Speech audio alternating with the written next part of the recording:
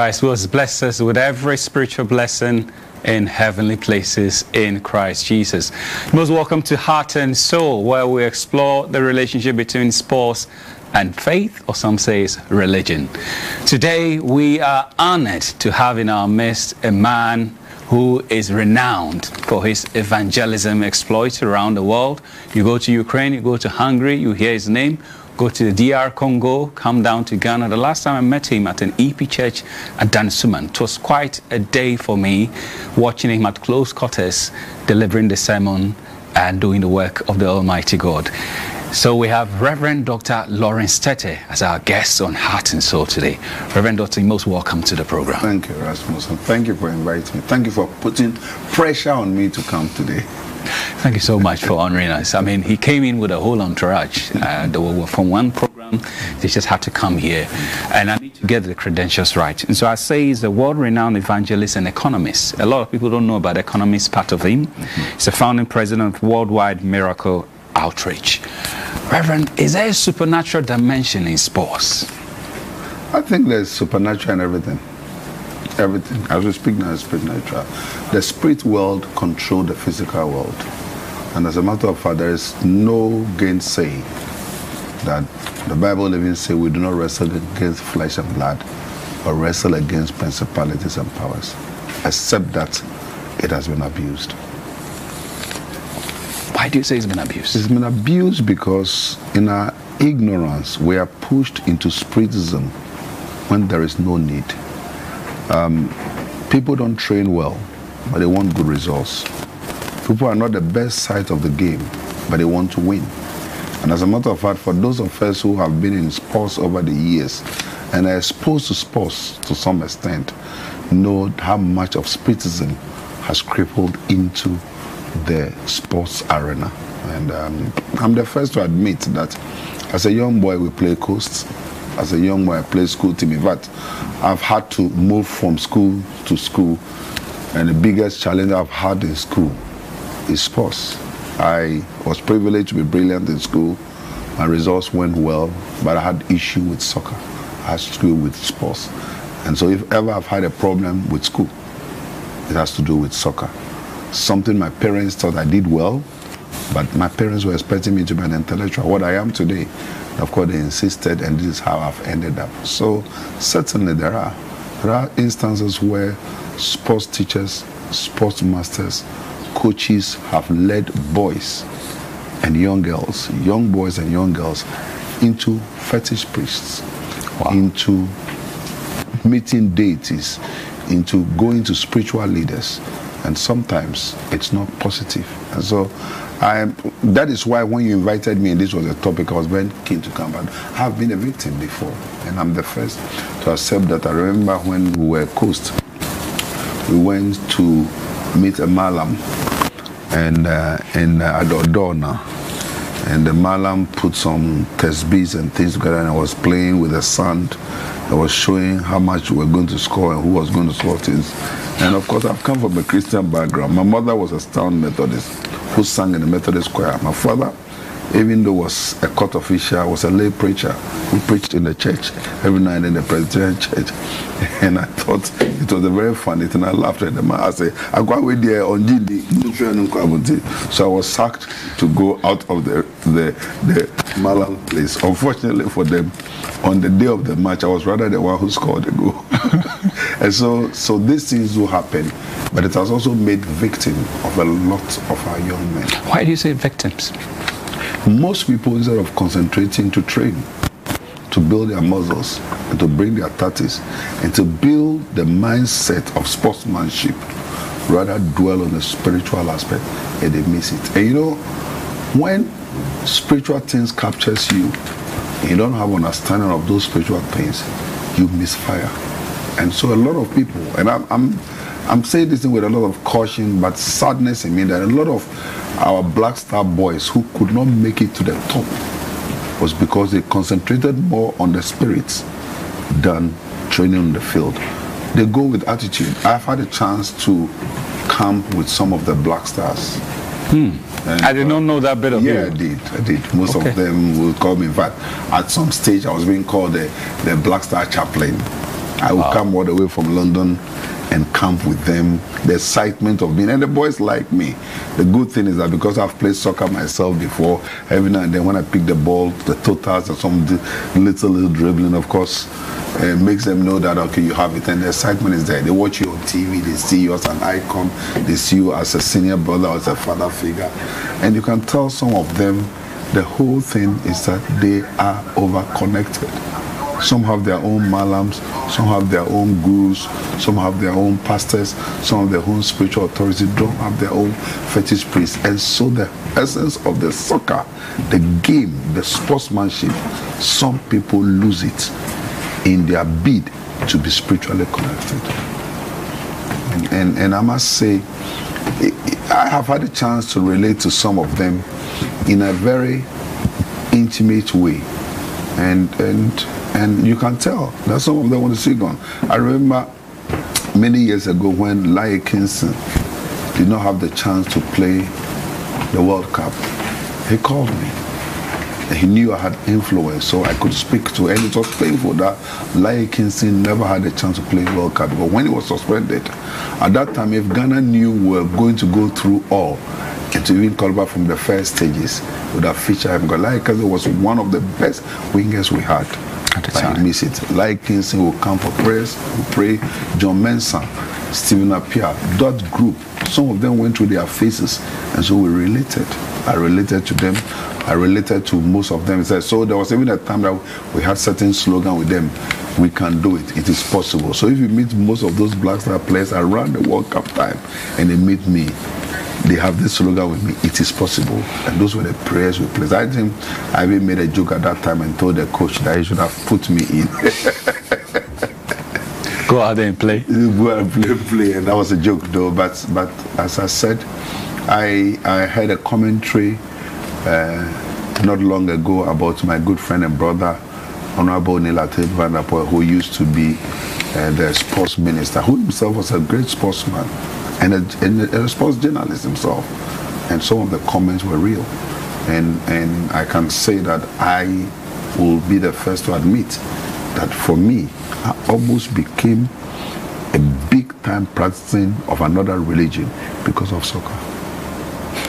That is why, I mean, the dangers. I've seen Emmanuel Bentila close quarters, for instance, also tell me about Korle Gonno. Mm-hmm. You talk about Donna. I mean, that area, the, there seems to be a lot, of, you know, happening.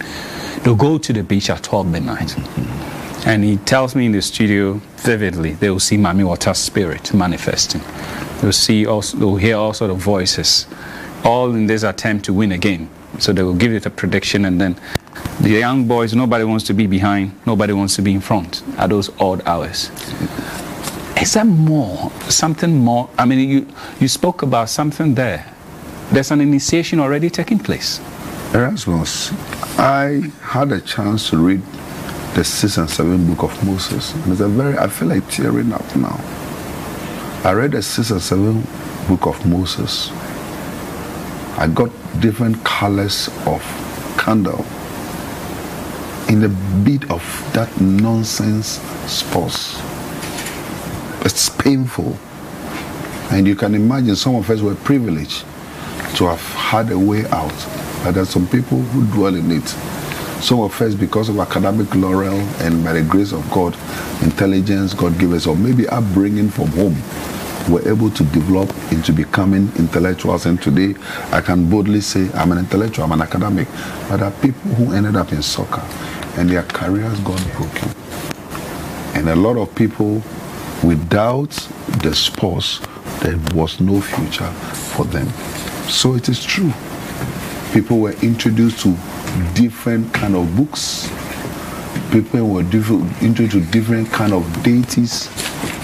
And as a matter of fact, I ended up even practicing Hinduism at some stage because of certain connections I had through soccer. Today, I sit before you today, and years down the line, about 40 years now, I still can still chant certain mantras of even Hinduism Om Trayamba Kam Yazimahim sukadim Pustiwa Danam Omaru Kamawama Nujumi Yama Hare Krishna Hare Krishna Krishna Krishna Mengalani satu Mistrat Om Mangalani Sato Mistraswati O Guru Brahma Guru Vishnu Guru Dev O Mahashwari Guru Shakshas Parag Brahma Lax Mystery Guru Namaha Om Shanti Shanti Shanti Why am I chanting? Just to prove a point, you know, I know what I'm talking about. I also was in India 2018, so I know a little bit about Om Shanti. Yes, so I know about the Dattatreya, I know about Vishnu, I know about Krishna, I know about Hari Om, I know about Rama, I know about Krishna, I know about Vishnu, I know about Jivananga, I know about Rumio, I know about Gopa Janakananda. So why are you a Christian now? Because I found the answer. I finally found the answer. And the greatest thing that ever happened to me was waking up from that dead situation and coming to life. I met a man by the name Reverend Akwesi Amoako, who led me to, he died in a lorry accident in 1990. Led The me great. to the Lord. Yes, a great Bramako. He led me to the Lord. He physically led me to my three friends of mine, Kobna Kodia, Willie Latte, myself, Lawrence Tetteh. He led us to the Lord. And it was never the same again. And all of a sudden, I heard of a Christ that can change life. I heard of a Christ that can turn your life around. And I realized that, oh, the real power was in the name that is above every other name. And that is what I keep telling the sportsmen look for the real power. And that is Jesus Christ, the Lord of Lords and the King of Kings. You say something. Some uh, uh, you said something else very important. Some are in Christianity, all right, but they also have legs or foot in other religions. And I was reading this book by Reverend Francis Boche, and he makes the same point that it seems the Christ Jesus we proclaim has not been presented. I don't know, maybe well presented to them, or they're not yet convinced. Because if you are really convinced about the power that is in the name Jesus, then as a Christian, you shouldn't have another foot in a fetish shrine or other place. What, what really are these is- footballers it is- missing? It is about knowledge. Until you have a clear understanding of what you do, you abuse it. I told you my parents were Christians, but to some extent I just went to church. Hmm. It took Bramwako. And don't forget that I was a student of religious studies. So was I a student of Bible knowledge. So I knew the Bible. I had a good grace in it. I mean, if you go to Ghana and you're going to read law, O level you do uh, reli- uh, Bible knowledge, A level you do religious studies. So that was for the classroom. But when I met Brahmaku, I realized that there is that Jesus that we have not connected. And that connection was what changed the entirety of my life. That is what you see today. That is the success story of the Lawrence Tetteh you are happy to host today. So I think that we should go back to the basis. And the basis is simple.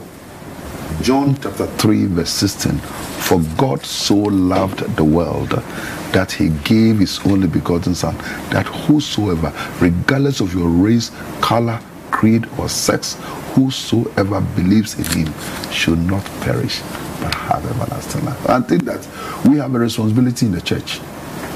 And I'm happy to be the first to admit that the church is not doing enough. We should stop thinking we are reaching out. We are not reaching out to anybody. We should go to the schools. We should go to the secondary schools. We are looking for adults. We should look for the babies. Train a child the way of the Lord. And when they grow, they will not depart. What were inculcated in us in preparatory school, for those of us who went to preparatory school, or in Saito, which some of the, the elementary school, which some people call Saito, or the experimental schools, is what become the foundation. And the Bible clearly said, if the foundations are being destroyed, what can the righteous do? So Christianity should go to the grassroots. And when we go to the basis, when people are well grounded in their faith and their understanding, since they on to some extent, I said I laughed when I went to see the madam. Because what he was doing didn't make sense. In my house, we pray. Did your father, did your mother know you were consulting the madam at that time? In fact, that was not part of what they were supposed to know at all. That is a secret part of it. That a lot of young boys and young girls has been introduced into a lot of secret societies without the knowing of their parents. That is why parents have a responsibility to know what their children do and to know where their children go. In fact, at the time when I was old enough to tell my mother and my father what I'd done on their blind side, they had the biggest shock. And trust me, it was the God factor that has rescued me. Otherwise, I'll be worth off. So you, there are a lot of source men today who are confused. They've consulted so many things and they themselves are not certain.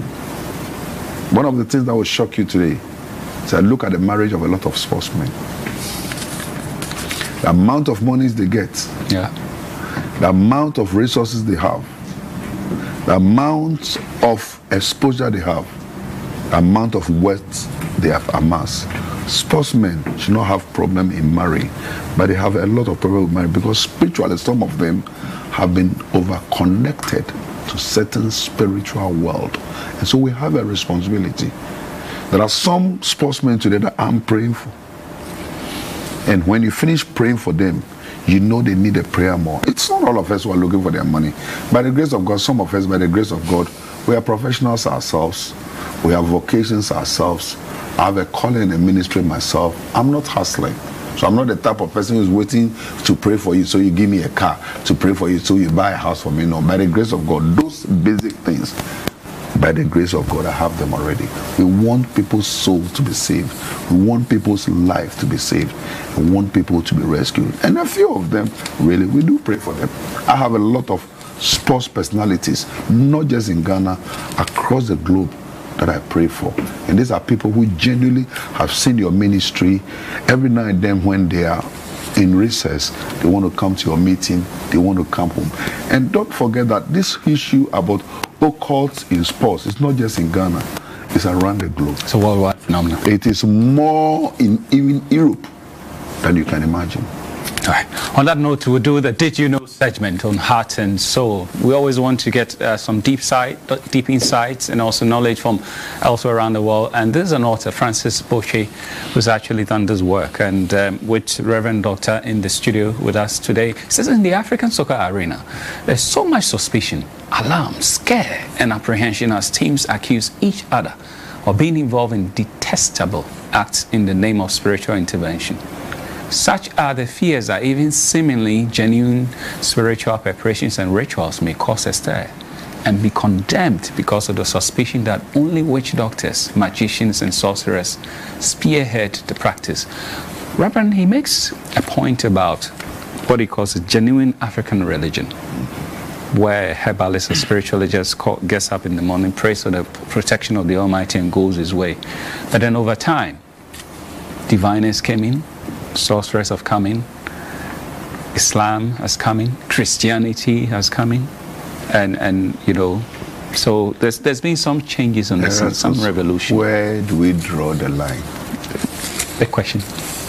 When we walk with the Lord in the light of His word, what a glory He shares on our way while we do His good will. He abides with seal and with all who will trust and obey. The chorus says, Trust and obey, for there is no other way to be happy in Jesus but to trust and obey. Most time, in our bid to be very traditional minded and be cultural minded, we miss the Lord. We have to be very mindful. Being a traditionalist or being a culturalist, does that bring solution? No. You need to know God for yourself. And as a matter of fact, sometimes in our bid to be too much African minded, we miss the not. I'm an African through and through. All the homes I come from are king's home. I come from Dodo on my father's side. My great grandfather is Nene Soji, who led the Catamance War, who led the uh, Dodoa Forest War, who opened the doors for Ghana to capture British Togoland. My great grandfather is Kintakita, you are the first, whose image is at the Mokola. So both homes on my mother's side and father's side, I come from tradition home. But what I'm saying is that we should know God for ourselves. And most often than not, we expose these young men and women out of ignorance. Most people have landed themselves into big trouble because they have gone to carry deities that they don't have control on. They make promises, they vow, they never redeem the vow, and they don't know that words are spirits. Spirits don't die. Spirits don't die. I can tell you that after I've been in deliverance for some time, I can tell you you can only cast out spirit. Spirit don't die. So if what is chasing you is a spirit, then you are in trouble. And that is what has caused a lot of them cannot sleep. A lot of them are having nightmares. A lot of them they go on the field, their their leg is broken. There are a lot of pe- there are people today who wonder why every day they have an injury, and they get injury at very crucial time. And even names, you know, this is a serious one I'm about to say and a sensitive. I was looking at Akaminko, hmm. how he missed the World Cup. 2014. In 2014, and I was looking at his name when I told my wife Barbara that this is sad. His name. It's only left with me. Akaminko. Left with Akaminko. His name is I'm left alone. And truly, he would have been one of the best we had on the field. But name, and names are very spiritual. So pronouncements and things. And at that time, to have lost the World Cup because his feet got broken only in a training camp hours before the biggest ever exposure was going to have in his life, that cannot be ordinary. And so we have to look at everything holistically and also come to that place where we can be honest with ourselves that we've messed up. Some of the young men, it's not late at all. They can reconnect, they can come back. But in this spiritual direction, in this spiritual leadership, and genuine, because in this day and age too, we are fixed. Yeah. Don't forget that even in the Christian arena, we still have fetish priests. Yes. When we we're growing up, we had Professor Diago, Professor Hindu, Professor Issa, who spiritualize things and uh, they do this. You go to Opera Square or um, um, um, Roxy or some of the uh, um, forecourts of the cinema places. How do you distinguish between the fake and the genuine? Bible says, by their fruit you shall know them. And sometimes it doesn't matter how sweet we talk, it doesn't matter how sharp we talk. People watch. With time, you will find with out. time you find out. Okay, Dr. Lawrence Tetteh in the studio. We'll do a quick break, and when we come back, there'll be a lot more. Some case studies, and we'll wrap up on heart and soul.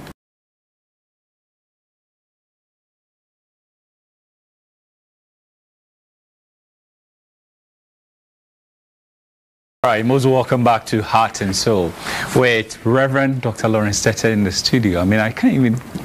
It's, it's, it's looking surreal for me getting him in the studio uh, with his busy schedule and all that.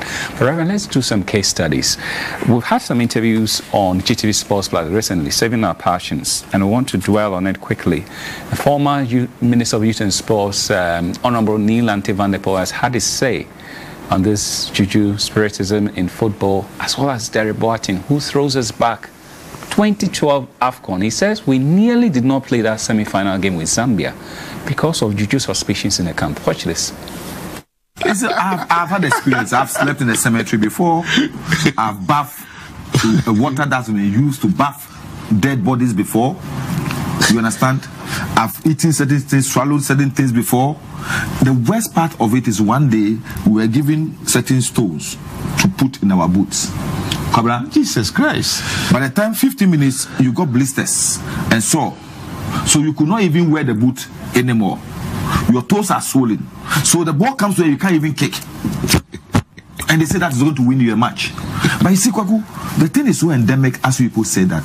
I have had a story, a situation whereby player who was sent outside to France wonderful player. He got to France because he would not be allowed to do those things in France. His football career ended because he has believed so much in those things. He thinks that without those things, there is no way he could play.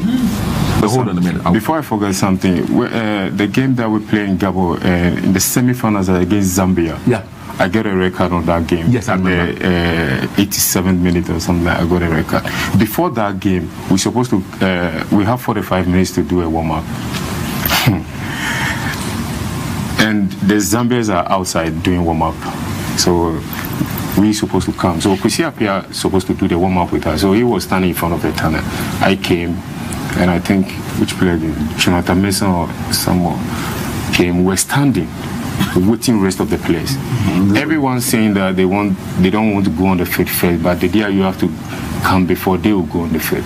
Hey, and look, boss, like like like 15 or 20 minutes, we're standing there without warm up, and Zambians are doing warm up. So the only warm up that we did in that game is like just 10 minutes, 10 or 15 minutes. Reverend Dr. Lawrence Tetteh, I don't know what you say to that. Two case studies. It's it's real and and sometimes our sportsmen are misled by spiritual leaders. And sometimes it's nothing by being initiated into certain things. So most of the sportsmen become so superstitious that they're even scared of themselves. Do you know that today there are a lot of black star players who would not like to share room with their fellow teammates you're confirming all that we are hearing. And the, and the essence of this whole campaign is teamwork. The essence of the campaign, in fact, when we were little, all the 22 players, school team, we stay in the same room. Where the Jama is. Solo no neho, afine solo no neho, Oziana, solo no neho. The moral songs bring you together.